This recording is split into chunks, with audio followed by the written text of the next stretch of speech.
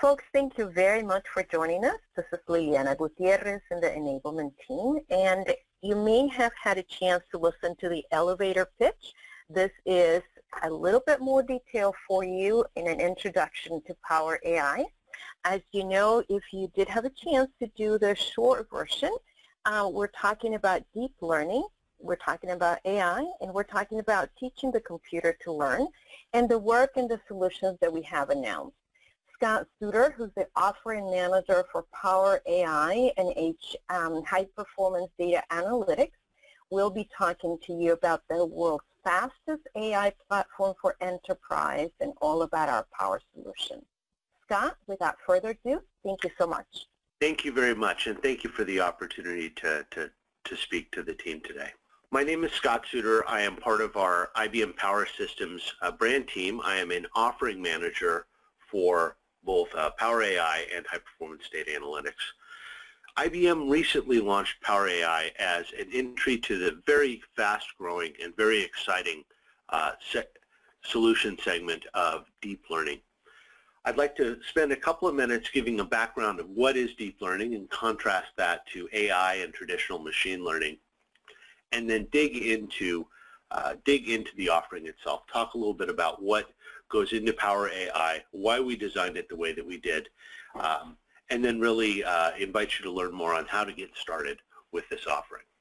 To get started, what I'd like to do is speak a little bit about what deep learning is, where it fits into the broad category of artificial intelligence, and then really go a little bit more into some of the elements of the solution so we can better describe what Power AI is and why it's such an exciting offering today probably the broadest category within the, the space of machine intelligence is this idea of artificial intelligence. It is very exciting, but it's also a little bit ill-defined. And so really to start looking at functional definitions and to start getting a better idea of how we actually apply some of these technologies in the enterprise, I like to drill down and talk about three concentric circles. The broadest is that somewhat ill-defined idea of artificial intelligence. But inside of artificial intelligence, it's a very functionally powerful uh, set of techniques called machine learning. Within machine learning, we as humans and as programmers help develop and, and create algorithms that allow a computer or machine to look into vast amounts of data and find some of the intelligence and, and the uh, and the key information within those, those data sets. Uh, machine learning has been a very powerful force in computing and in data science in the past decade, decade and a half. And as we move into a new area called deep learning, we're really seeing an evolution of, of what has been traditional machine learning. Now, the difference between machine learning and deep learning really is in how the algorithm and how the development of the program occurs. Within deep learning, we really train the computer to learn. And this is sort of the, the, the critical concept here. Within deep learning, we utilize software tools that allow us to build a foundation of logic, build a foundation of data sets uh, that a computer, a system can then uh, take in and based on the rapid, rapid and, and, and uh, significant training with large data sets, help to write its own algorithm to find and recognize patterns in data or recognize characteristics uh, of, of, individual data points that, uh, that come up in a system. A classic machine and deep learning example is image categorization and recognition, where through the use of a initially tagged data set, we teach a computer how to recognize what an image might be. We see this applied today in technologies such as Google Photos, but also in automated, automated image tagging and uh, recognition that may help find characteristics of uh, what sits within a picture, um, either uh, in a video format or, or still picture. Deep learning is composed of two elements. There is a training piece where we teach the computer how to build an algorithm, and then an inference piece, uh, which is really closer out to the edge, and this is the part of the deep learning system that actually acts on the algorithm. Another classical deep learning example, which I think illustrates this very well, is the idea of a driverless car. we teach a car how to drive in the data center. We teach a car how to drive by applying observational data and real-world data. And that system, that deep learning system, helps develop an algorithm, an equation that can be run out within a car out in the field. Now, the difference is really in scale. On the training side, it's a very compute intensive. It's a very data intensive process. Uh, there isn't room within the average car for a data center. So we need to be able to build something that can be executed uh, closer to the edge with typically a much smaller power footprint and a much smaller physical footprint. Training and inference. Training within deep, deep learning is really, we call it neural inspired because it draws from our understanding of how the mind works. The idea that artificially within a deep learning system, we can create neural connections and weighting of connections by applying millions and millions of data points to the system. And it's really this repetition, this repetition of tagged imagery and then unsupervised imagery in the case of image recognition or language sets in the case of natural language processing that helps build that weighting connection and therefore the precision, the, the accuracy of the algorithm. To help facilitate this, we really need a platform and within our Power AI platform, this is composed of, of three elements. There are the deep learning frameworks themselves. These are the logical tools that help create these artificial neural networks and, and output the algorithm that, uh, that we use for inference. These are supported by uh, mathematical libraries that, that really take advantage of the capabilities of very strong compute. And in the case of compute, this really is an acceleration play. In the last three years, we've seen a renaissance and, and really a rise in deep learning because um, members of an open source community, members of uh, industry and academia and research have really focused on ways to accelerate the code through the application of GPUs.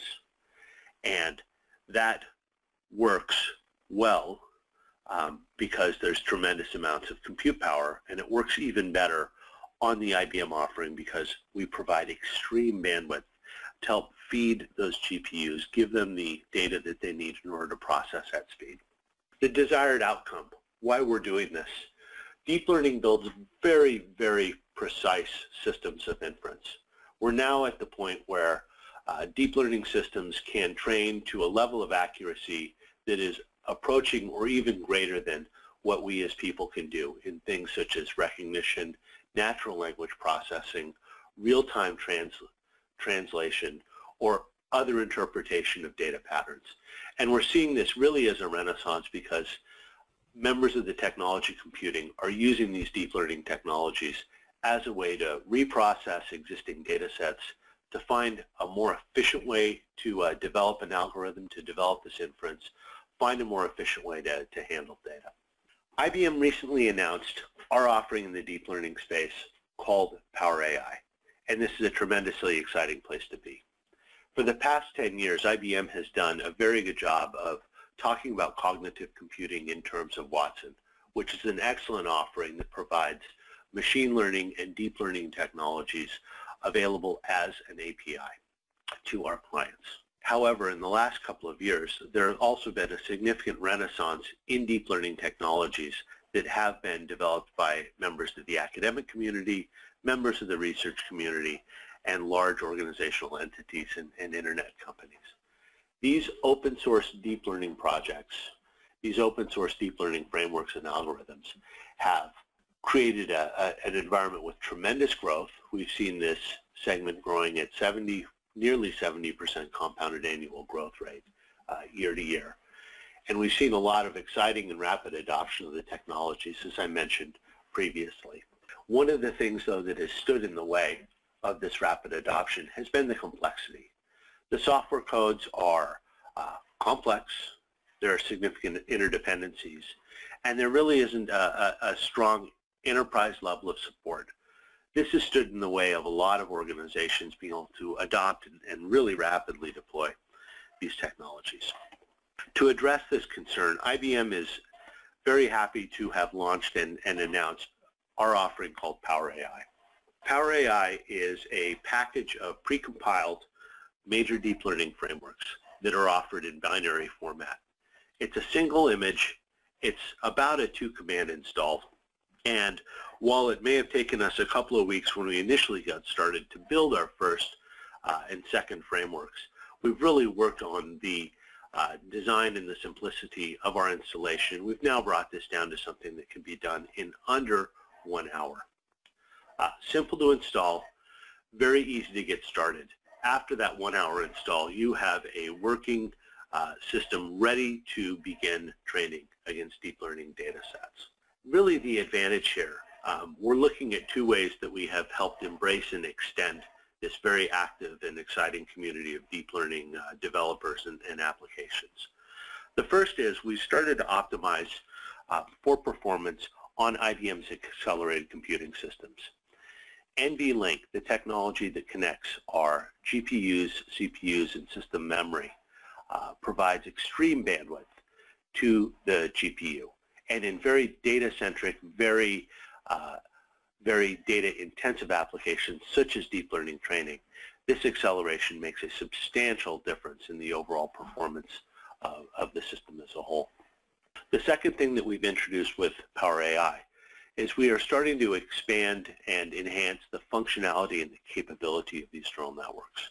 So we optimize for system performance. We're also working through our collaboration with the IBM research teams to help extend the functionality and the overall capability of neural networks. More on this in just a minute.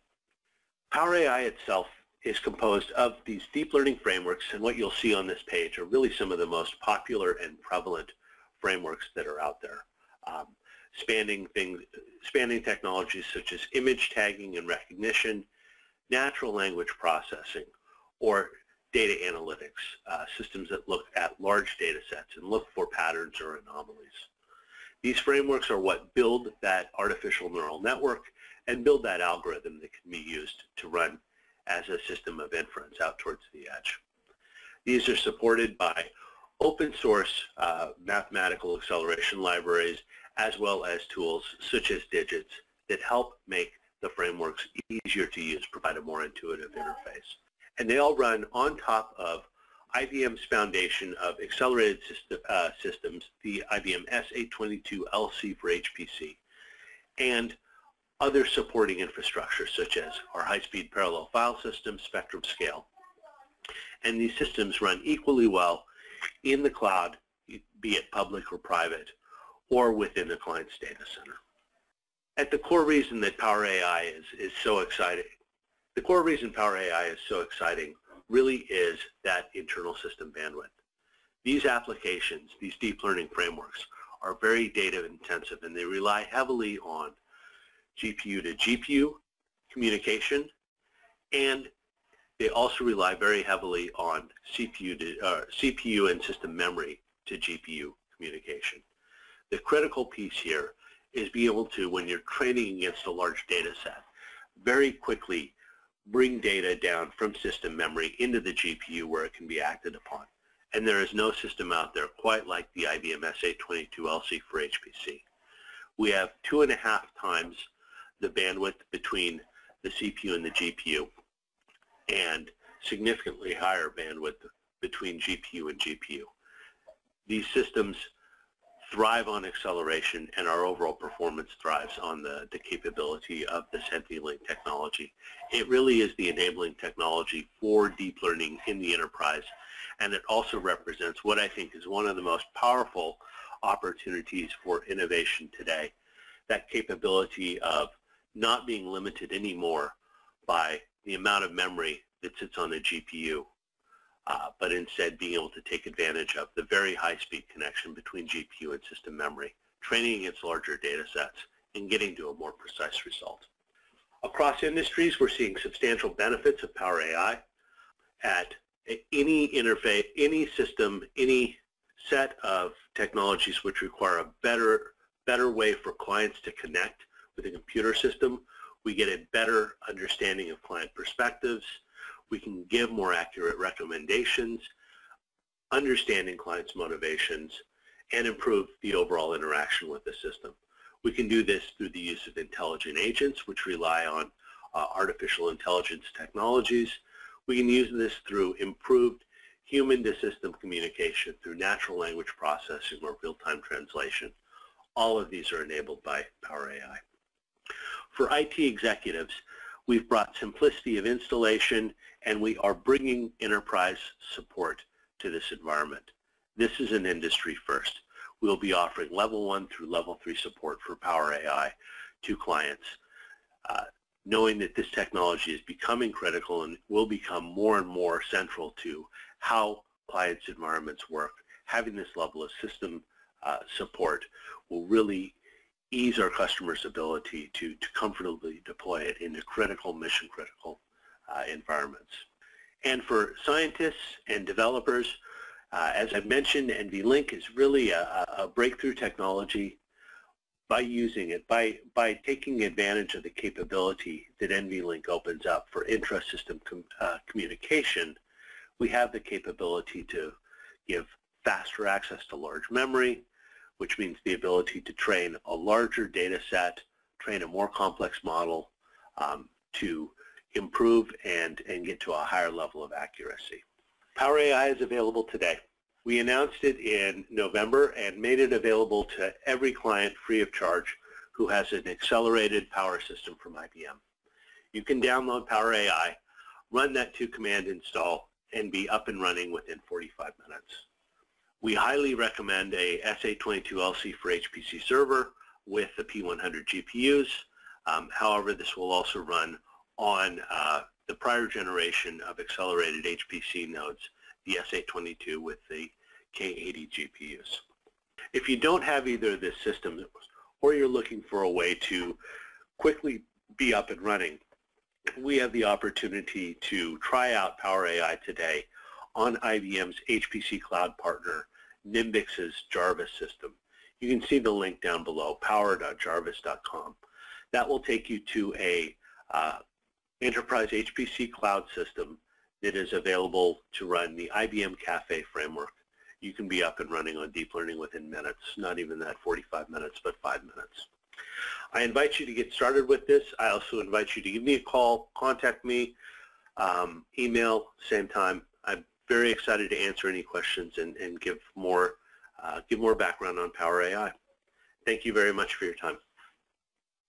Great job, Scott. Really interesting to hear where we are with certainly technology that's becoming critical, the benefits that we have for our customers across industry, and the kind of support that we have as part of Power AI. Thank you very much, and thanks, folks, for listening.